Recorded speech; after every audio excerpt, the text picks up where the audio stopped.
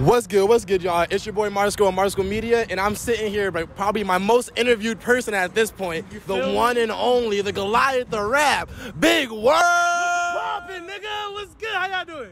It's late, it's late, you know. I think they're doing pretty good. I'm doing pretty good. How you feeling today, man? I'm feeling beautiful, bro. I'm, I'm like mad anxious and scared, and I don't like people, but we in this bitch, you know? Hey, man. Yeah, Well, yeah. I think you're gonna do pretty good. Like it's looking like it's a big, pretty event right there. Like, can you catch that line real quick? Facts. Yeah, the- it's getting, it's getting busy. Hell crazy. yeah. Yeah, It's like, what's one song you're performing today? I'm performing Chernobog, uh, my favorite song, my biggest song. You know, you y'all should know the lyrics by now. I scream that bitch every fucking show. But yeah, just like you know, my, that's what I'm looking forward to. Fire. And how did you find? And how did you find out about the show, man?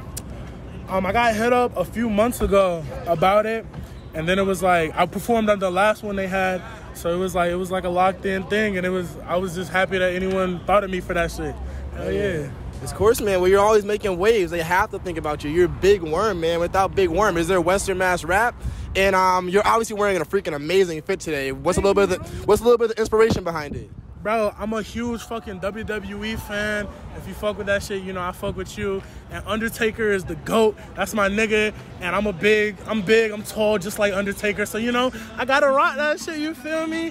For the dead man. Hopefully, hopefully somebody let me choke slam him.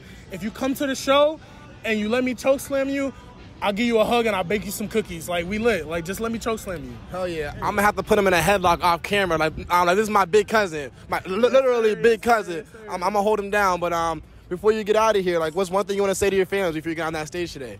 Shit, one thing I want to say to y'all is don't be scared to be yourself. Stop giving a fuck what everybody think. Cause I were, I used most of my life being a bitch, scared of people's opinion. And once I got that shit out my head, I became that nigga. So just wake up every day and do what makes you happy, and you'll be that nigga as well. Yeah. Hell fucking yeah. I love that. All love to my guy Big Worm. And we like you, man. Heck yeah. All love, positivity. We're at YTH Fest 2022. I'm Marsco Marsco Media. See you later.